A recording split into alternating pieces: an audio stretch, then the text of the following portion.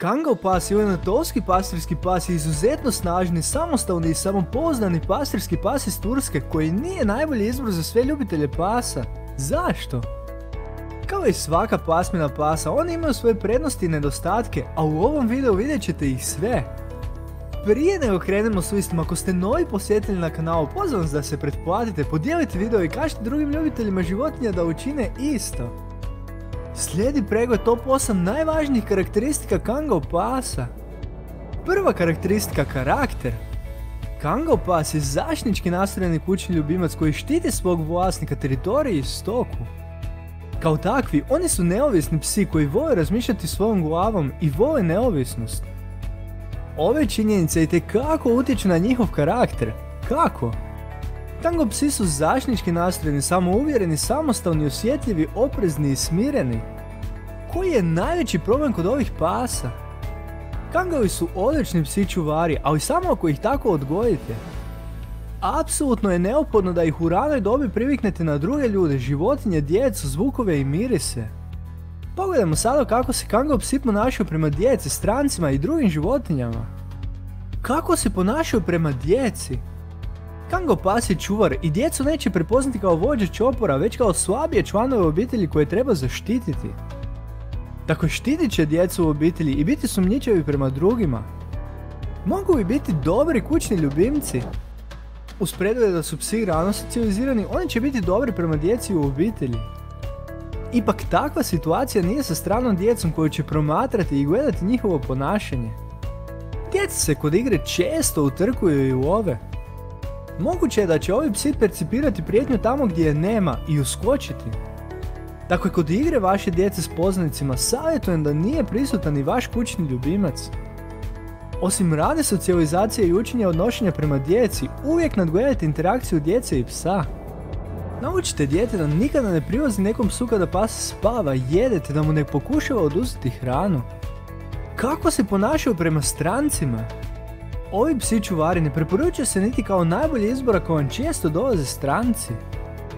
Naime, oni su nepovjerljivi i uvijek na oprezu. Kako se ponašaju prema drugim psima? Oni nisu najbolje prijateljski i povjerljivi prema nikome, pa tako niti prema drugim psima. Neophodno je da odrastaju s drugim psima i životinjama kako bi ih prihvatili kao članove obitelji, odnosno svoj čopor.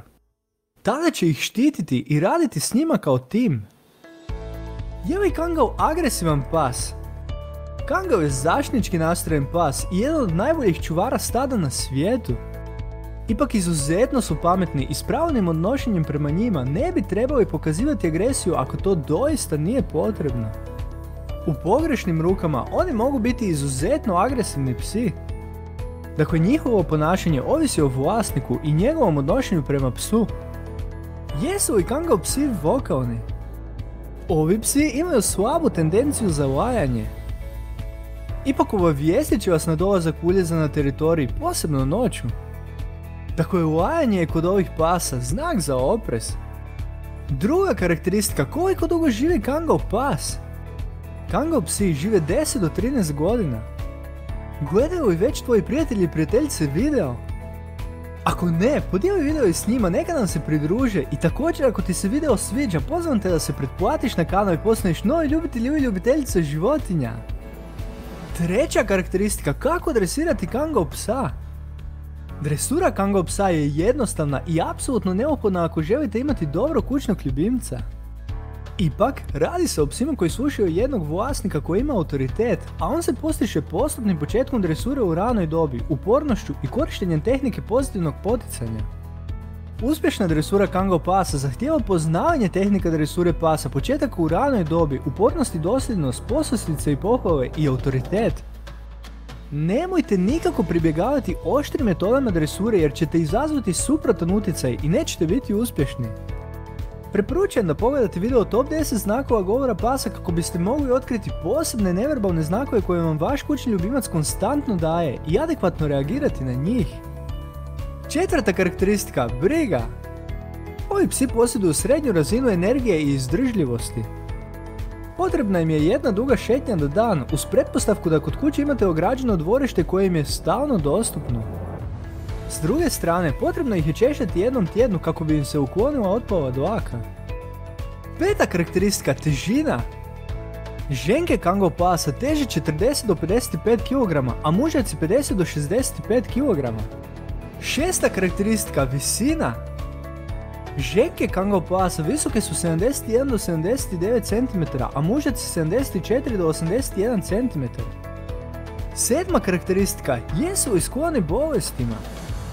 Radi se o zdravoj pasmini koja nema karakterističnih bolesti. Ponekad psi ove pasmine mogu biti osjetljivi na anesteziju. Osma karakteristika hrana za pse. Kango pas nije podložan prijedanju i debljenju. Samo pripazite kao i kod svake pasmine pasa da hrana za pse zadovoljava nutritivne zahtjeve psa. Pogledajte moje savjete i odaberite kvalitetnu hranu za pse kako bi vaš psić bio zdrav i lijep. Kada su ovi psi dobar izbor za vas? Kango psi su dobar izbor ako tražite psa čuvara, velikog, snažnog, atletskog i agilnog psa, te pametnog i neovisnog psa. Kango psi nisu dobar izbor ako želite psa koji je prijateljski prema svima, te koji je za kuću i stan. Slijede slike kango pasa, slika štenca, slika odraslog psa. Dakle, ova pasmina pasa svakako ima svoje prednosti i nedostatke. Ukratko, radi se o snažnom, neovisnom, agilnom, zaštnički nastrojenom i prije svega izuzetno dobrom sučuvaru stada. Ako znaš da još neke karakteristike koje sam propustio u videu imaš sugestije ili dodatne informacije, svakako ostavi komentare ispod videa. I na kraju, ako ti se video svidio, još jedan te pozivam da podijeliš video sa svim prijateljima i prijateljicama na Facebooku i drugim društvenim mrežama te da lajkaš video i pretplatiš se na kanal svih ljubitelja i ljubiteljica životinja. Želiš vidjeti više? U opisu sam pripremio linkove na top 10 najudanijih, najpametnijih, najubojitijih, najljepših, najmanjih pasmina pasa na svijetu i još mnogo više. Sačuvajmo naše kućne ljubimce zdravima i veselima! Lijep pozdrav!